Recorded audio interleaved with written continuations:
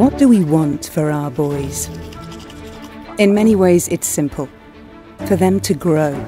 And for them to grow, they need to forge connections between the intellectual and the human, the past and the present, and between each other. We encourage them to build on a fine mind and develop a good heart.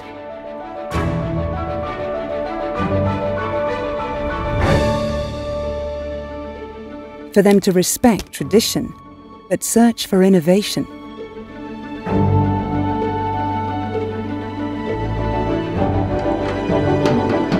For them to move from an idea in the classroom to reality in a changing world. For them to be recognized for who they are and be able to perform in any field. For them to be able to ask why, but be willing to ask why not. For them to move away from congestion and have the space to breathe.